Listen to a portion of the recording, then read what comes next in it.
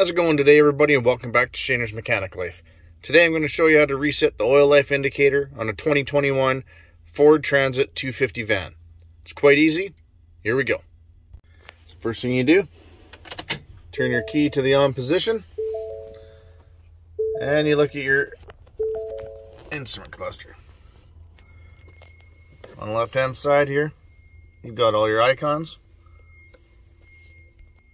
And here are all the controls you need to use to reset it.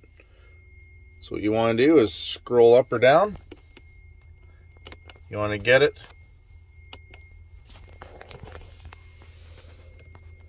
till those two gears are highlighted.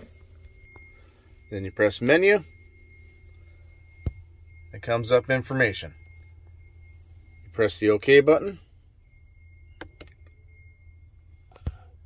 Now you just scroll down to oil life, press OK, and you press and hold the OK button to reset your oil life.